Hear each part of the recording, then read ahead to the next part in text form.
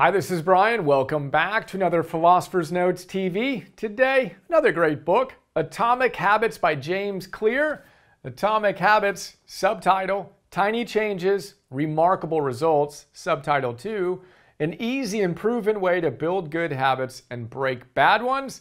I'm a huge fan of the science of building habits science of optimizing your life in general, but particularly habits. We've got classes on Willpower 101, Habits 101, Optimizing Algorithms 101. We've done a ton of notes on Charles Duhigg's Power of Habit, uh, Twyla Tharp's The Creative Habits, Superhuman by Habit, Mini Habits, a bunch of different books on how to create habits. This one, in my opinion, is the best one.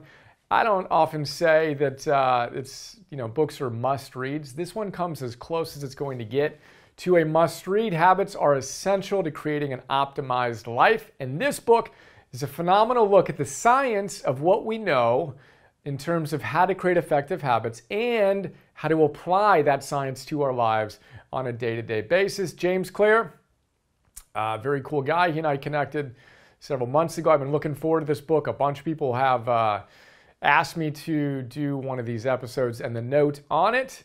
It's phenomenal. He's super popular. Millions of people visit jamesclear.com every month. He's got hundreds of thousands of newsletter subscribers. There's a reason why. He's a great writer. Really enjoyed it. Highly recommend it. Philosopher's Note. Bunch of my favorite big ideas. We've got five of them we're going to talk about today. We'll start at the top. Tiny equals mighty. Atomic habits. What are atomic habits? Well, think of the building blocks of our bodies of the world. Atoms make up molecules which make up our existence. We need to go small, but then think about it in terms of a system. And he says that, uh, well, he starts, kicks the book off with a story on Brailsford and how he turned around the British cycling team, which we've talked about a number of times. Marginal gains, tiny little improvements. And one of the things I loved was he actually quantified what happens when you aggregate and compound 1% gains, tiny little gains. If you get 1% better today, you think you can get 1% better today? I think you can get 1% better today. Now, if you get 1% better today, then you get 1% better tomorrow, and you do that for 365 days in a row, how much better do you think you are at the end of this year or that year than you are today? Start at one. How much better would you be at the end of that year?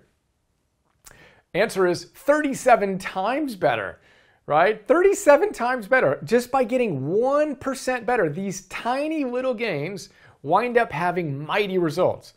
Now, I love that because we talk about our plus one, plus one, plus one, optimize plus one. Every day we send out another plus one to our, our members. Just get a little bit better today. But I hadn't done the math. I love the fact that that equals 37 times better after one year. And then I said, well, okay, what would happen after two years, three years, five years, 10 years? Because James makes the point that to really see the benefits, you need to stretch it even longer horizon, five, 10 years out. How much better would you be? So I busted open a Google spreadsheet and I ran the math. 1% better, 365, we're at 37 times better. Okay, well, how about another year? You get 1% better for another year after that first year. You're 37 times better after one year. How much better are you after two? You're not twice as great, right? This is compounding we're talking about. So you don't go from 37 to 74 times better. You're 1,400 times better at the end of the second year. So then I do that and I'm like, that's pretty cool. What if you go out three years, four years, five years? After five years of just tiny little 1% gains, aggregated and compounded, how much better are you? Five years, over 1,500 days, right? You're 76 million times better or something ridiculous like that. Then, how about 10 years? How about if you go all the way through to 10 years, 1% better, stack that up, right? No one's going to do it perfectly, right? You're going to have some slips, but you don't want to give up your compound gains, by the way, an important point. 10 years out, how much better are you? 1% at a time. You're almost a quadrillion times better. I literally broke the Google spreadsheet. It, it couldn't calculate the number of zeros by the time we arrived at day number 3,650. It's crazy. Tiny equals mighty. Keep that in mind. Uh, another little fun distinction. So if you had uh, a plane, an airplane, here's the arc, by the way. That's you getting better. It takes time and then you get better. And then it just goes crazy up to the quadrillion, right? But he says you can imagine an airplane Another metaphor to bring the point home. Imagine an airplane in LA, LAX, and it wants to get to, the pilots want to take it to New York City, right? But they, they point the nose just three and a half degrees, 90 inches south, um, more south than it should be. Now, those 90 inches at the beginning of that trip that's supposed to be from LA to New York City will wind up taking them to DC, Washington, DC. 90 inches leads to hundreds of miles when you give it a sufficient amount of time. So you can go up or you can go down. You're making a choice day in and day out, moment to moment to moment. You're either going forward or you're going down, right? And again, it's kind of fun to imagine. LAX, oh, I wanted to go to New York City. Oops, I wound up in DC, and it was a tiny little change in the beginning, compounded, led to a big change um, over an extended period of time. Keep that in mind. Tiny equals mighty. It's a long first big idea. The second one is the plateau of latent potential. This is a really cool idea as well. We're, st- we're still in the first chapter, by the way. This book is ridiculously packed with big ideas, which makes it very difficult to distill into a six minute, uh, six page PDF for the Philosopher's Note in one of these quick episodes. But he says, okay, look, compound uh, interest is huge in finance, and it's the secret sauce in habit creation. But why don't more people do it? And the reason is there's a delay between the time that you start engaging in this behavior and when you see the results. So let's say that your results wind up being just crazy up here, right? Literally, it, the arc goes nuts over time. It will still extend, but it will go like that. Now, you might have expectations that look like that, right? So you want to, it crosses up here, right? So it crosses at some point around here. And there's a delay where you're not seeing, it's in this little slow part here. You're not seeing any gains for quite a while. And in that period of time, use whatever example you want. You change your diet, you don't see results tomorrow or the next day, although you might actually if you eliminate sugar and some stuff that's not working for you. Your energy might actually improve very quickly. But you do a push up today, you're not going to see results tomorrow. You got to give it some time, right? Most people don't give it enough time. They get disillusioned during that plateau of latent potential, is what he calls it, which I think is a great phrase. There's latent potential building, and he uses a couple of metaphors to bring the point home. One of them is the stone cutter. So imagine a stone cutter. A stone cutter hits a rock again and again and again and again. Hundred times they hit the rock, nothing happens. The hundred and first time they hit the rock, what happens? It cracks. Now, what was happening before then, right? All this latent potential was being built, and it took all of that effort for that last strike to actually create results. Well, it's the same thing with our habits. We've got to endure that period where we're not seeing the results we want, but know that we're building up this latent potential. Super powerful idea, worth keeping in mind. If you've ever bailed on a certain habit before you've seen results, which we all have, uh, check in. The path of the master is to embrace the plateau and know that these things take time. Third big idea is identity. James presents a really cool integration of a number of different um, scientific models, and I love his perspective on identity. He says you can create outcome based habits or identity based habits. We don't have the space to go into detail on that, but the basic idea he says look, we're not looking to create one big life hacking party. We're looking to become the best version of ourselves we possibly can. So before he talks about the what and the how of habit creation, he says we need to think about the who. Who do you aspire to be? When you imagine yourself at your absolute best, in general and specifically in your energy, your work, your love, to use the model we talk about in our big three, who are you? We want to let that identity drive our behavior, and then let the outcomes be a byproduct of that identity and the processes or the systems or the habits that we build. Right? That's the secret sauce. He talks about Scott Adams and goals vis-a-vis systems, etc. Um, check out our notes on how to fail at almost everything and still win big for more on that. Uh, but the basic idea is identity. And then he ties it to the Latin etymology, which I thought was amazing. In ancient Latin, the word identity is actually formed. The word identity we use is formed from a couple of different words in Latin that basically mean um, what does it mean? It means repeated beingness. Repeated beingness is what the word identity literally means. You repeatedly being a certain version of you creates your identity. Your habits literally create your sense of who you are. If you consistently do one thing, perhaps going this way, you're going to have a pretty good identity in that area. If you consistently do that, you're going to have a not so great identity. Now, that's exciting because we can shift our identity and we can shift our habits, and the two work together to create the results we want to see in our lives. So, again, who do you aspire to be? Act like that version of you now. Create the habits that a person who is that version of you would engage in on a consistent basis, and voila, you're going to find yourself experiencing more of the results you want in your life. All of which leads us to the heart of the book the four laws of behavior change. This is where James extends uh, Charles Duhigg's ideas. Um, so, four laws. Let's quickly look at them. One, two, three, four. First, we've got four aspects of the habit loop, as he describes it. One, cue. Two, uh, craving. Three, response.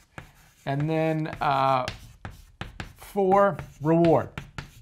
So these are the four areas of uh, creating habits, right? And he says we need to boil these down into four laws of habit creation, which you can use to create habits or get rid of bad habits. Here's the quick look. First, your cue, which kind of kicks off you engaging in a habit, needs to be super obvious.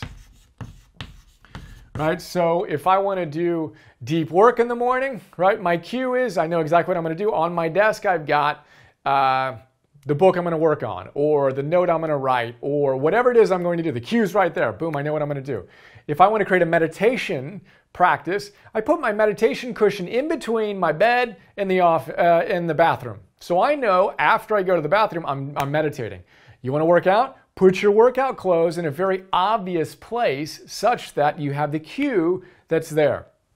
We can talk about that for a while. I'll leave it at that for now.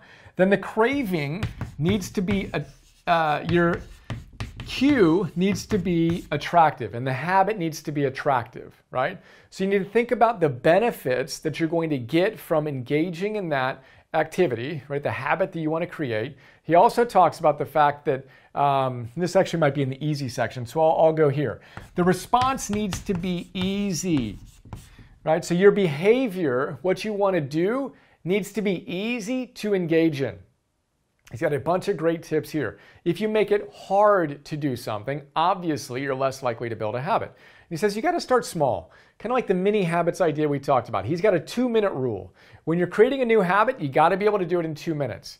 It can't be hard. So, meditation, to use that as an example again, you're committed to meditating for two minutes. You trip over the obvious cue in route to the bathroom in the morning. Oh, yeah, I'm supposed to meditate in the morning. Okay, let me remember why. Yeah, I'm going to have a calm mind.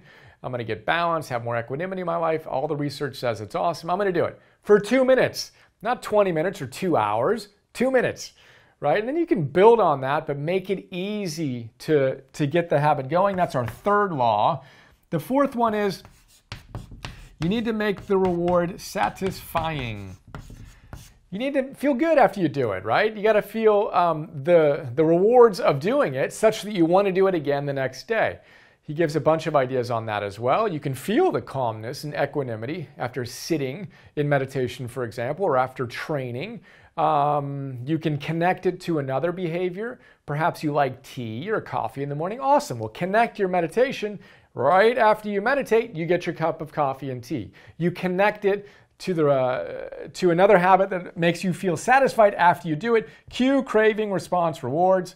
Law number one, make it obvious, make it attractive is two, easy and satisfying. Obviously, longer chat, check out the book, etc. But you can also apply the inverse of those laws to break bad habits.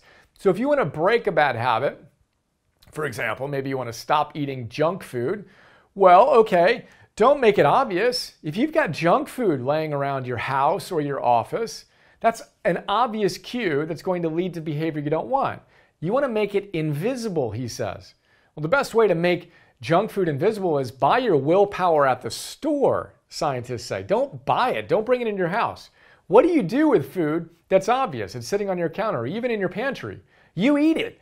In the moments when you least uh, can afford to or want to when you're tired and all this stuff, right? So make it invisible. Don't have it in your house. That's a great hack um, and law to uh, engage, to break a bad habit.